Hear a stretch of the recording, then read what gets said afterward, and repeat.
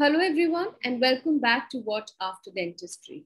Now, during this pandemic that we have been experiencing from last year, there is a new term that has been coined or introduced, and which is COVID dental batch.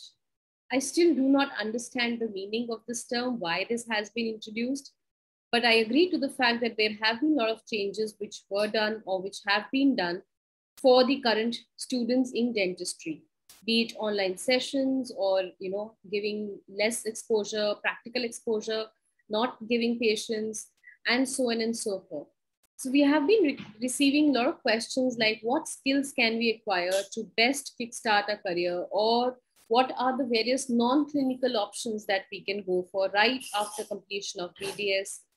Um, questions like, you know, how can I grow my skills during this pandemic so that I can right away start the clinical practice after completing my degree, whether it's an undergrad, whether it is at the undergraduate level or at the postgraduate level. So to answer all these questions today, we have uh, you know, some very important tips given to us by Dr. Arvind Babu. He has been on our channel before where he talked about how to have a specialized practice after MDS in oral pathology and microbiology.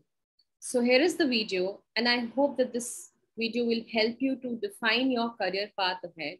He's given some really important insights of how can you amalgamate allied health sciences into dentistry and come up with your own unique concept in dentistry. So I'm not going to talk much about that right now. It's better that you guys have a look at the video we already know in this current situation you know how pandemic is shaping the healthcare industry as a whole so uh, we do have uh, you know students coming up with saying that there is scarcity of jobs in dentistry. I would like you to advise or show some light to these students you know in terms of how can they uh, you know make a mark after they complete their graduation or uh, you know post graduation in dentistry. And once they're ready to come out in the real world how should they uh, start off with a with a practice in dentistry during keeping the current situation in mind Yes, madam. I'll just, uh, uh, I just want to say that uh, past two years, this is scenario what is happening in, in throughout India and throughout globally.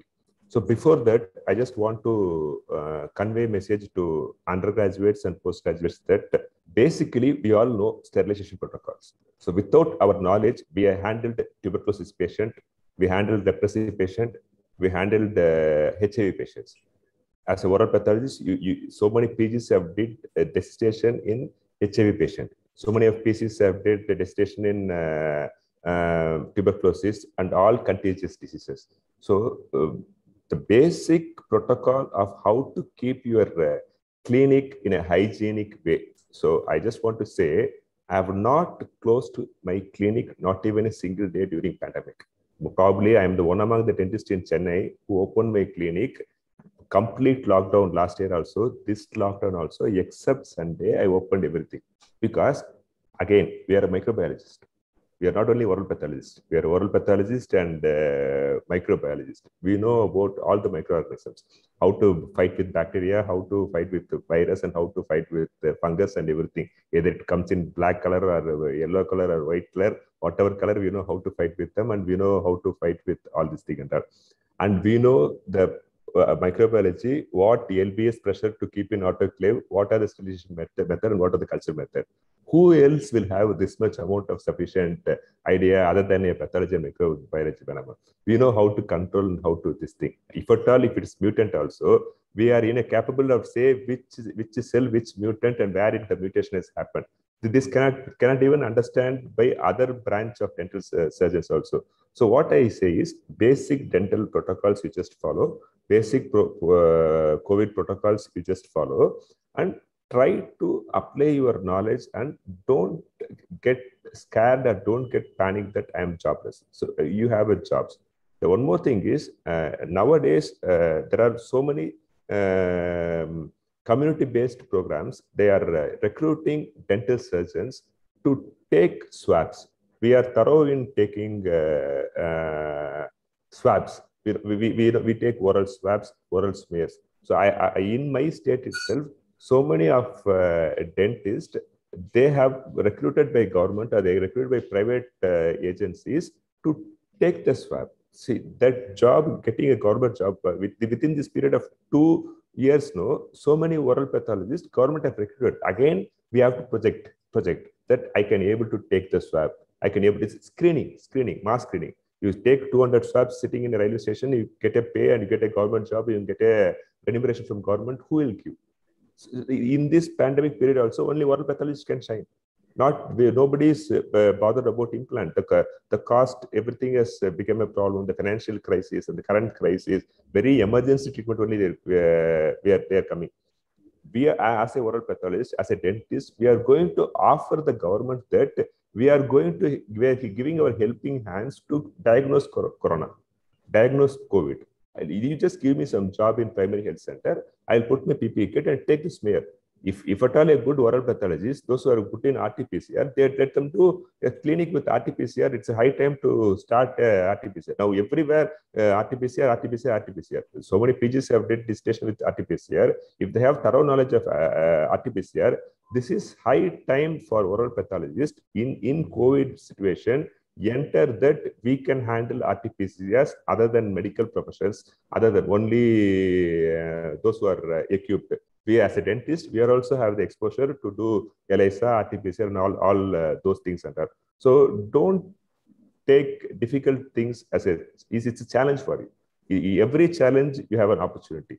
You have to, you have to find the solution for the challenge. So what I found means this is high time. So you, every every time, no, from uh, medical emergencies, ICU, whatever they see in oral cavity as a black black color, uh, they will take a picture and send. Uh, Arvind, uh, buccal mucosa, I can see a black. Is it a black fungus? A lip, I see a black color for my ICU patient. Is it a black fungus? They don't know black fungus mucormycosis occurs in palate only. So emergency physicians, they are handling the cases in COVID. No? They are taking the, I say that given so much of steroids, you're given so much of drugs, because of lichen reaction also, your uh, cheek or uh, lips and all, you may get black color. So this is the way where I am standing, where I want my postgraduates, where I want oral pathologists, where I want a general dentist with our thorough knowledge. This is a challenging situation. I accept but this challenge we have to make more positive for dentistry and more positive for oral pathologist. If you skip this this opportunity, I don't think we get any golden opportunity to establish ourselves as a. We are also part of your uh, government speaker. We are we are forensic. We are uh, uh forensic. Uh, medicine forensic dentistry we are handling we are handling uh, genetic and molecular analysis we are we are screening oral cavity the only uncurable disease in India is dental caries. Nobody has bothered about dental caries. We are doing that thing. Under. So the thing is, I say confidently you can handle. Take vaccination, take uh, precautions, whatever you want to have, and go inside and do the things what you want to do. Nothing uh, beyond your hands. There's no no way to think what I'm going to do. If you start thinking what I'm going to do, that will reduce your energy or that will reduce your, there's no, no full step. Yes, sir. Absolutely correct. So, uh, and so what about the undergraduate level? Because they come up with questions like now, since the patient load or the patient influx in the colleges are also less so they are generally not given patients to you know work on and the patients are given either to the interns or to the final year students. So what to say to these kind of students where you know to the undergraduation level because they feel that the they are not able to acquire the dental skills that are required to be done during the uh, college years Yes, yes, madam. Exactly, exactly. We are not giving cases for undergraduates, even postgraduates. Also, nowadays, all exams are going in online only. Yes. Without patients, we have we are doing examination with online uh, mode of examiners. It come in other part with uh, laptop, and I will be sitting with another part of laptop instead of patients. Patients' photo will be there. Patients' OPG will be there. So this is a small crisis. So we have paid amount to college. We are came to learn uh, to dental procedures you can't be able to learn. So so this is not an end. So we are just coming to we're just trying we are just coming out from all these uh, things. So even uh, senior uh, practitioners or senior persons in the dental field they should sit and think. See my, my PGs have been vaccinated. My UGs have been vaccinated. I have proper uh, protocols, COVID protocols following here. Because as an individual practitioner, I have not shut my clinic for a single day. So I should not scare to stop my PGs working uh, in my department. I should uh, encourage them. You take all the precautions. Okay, okay, fine. So this is one aspect. Other aspect, this is the high time you just equip yourself theoretically. You just this this time you won't get every negative situation. You have to think what positivity. You just try to attend webinars you just try to attend some sort of online courses you try to when you when you're going out with pds at least they can go out with four to five certificate courses a sort of uh, psychological courses, a sort of clinic management courses, a sort of uh, um, uh, patient education courses, a sort of uh, things they can online, they can go, so, so they can they can attend webinars, and they can get an academic updations this area. And dental council has given a proper uh, protocols that you follow all these things and uh, start patients. Nowadays, most of the colleges with patients, they have, they have, we have started giving cases to students with proper protocols. Okay, this is for students those who finish and come out, those who are intense in come out, no, probably if you're interested, you utilize this time for preparing for post uh, PG examinations, PG NEET examinations. You try to uh, sit and uh, plan for your career. You just Google what are the options. You just listen to this kind of videos. What are the options we can able to able to get what are the courses which is easy to update myself? Just starting from basic science basic genetics or basic molecular biology or basic cosmetic dental courses or whatever it may be we are back. We are treating patients. So nothing to get panic. Any lag that lag you just positively utilize to improve your academic knowledge. So once i finished my clinic i don't have time to open my book only to be very frankly but today, if I go to take class also, one day night I should sit and read and go. Every day I should uh, read and go for class. So you can you can see that uh, without problem, nothing will come in our life easily. To try to make yourself academically updated with with doing some sort of fellowship courses, online fellowship courses. Either you can do a sort of uh, there's a course called as uh, uh, dietitian, on-call dietitian, or uh, psychiatric counseling, uh, pediatric psychology. So if you are uh, there, are, there is one courses where my students know they have uh, courses, so they know uh, how to manage physically disabled students in clinic.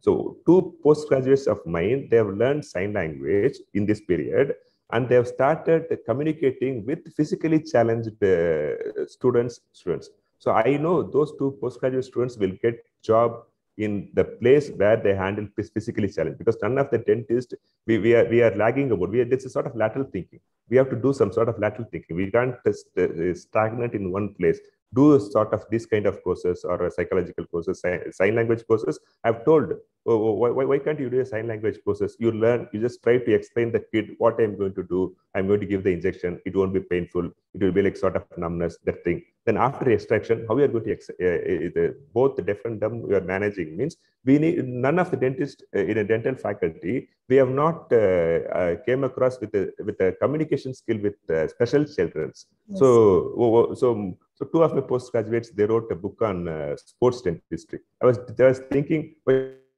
can't we write about sports medicine? Why can't we write about uh, sports dentistry? So this is the time you think and bring out your novelty, what is inside you. And at the same time, those who are willing to participate in uh, postgraduate NEET examination, you sincerely study. Probably this time, this free calmness may give you the, without parental pressure, you can get whatever uh, seat you want, uh, whatever uh, courses you want. You can't able to compromise anywhere. And uh, it, it, it, this, this this too shall pass on. I have to say that this too shall uh, pass on, madam.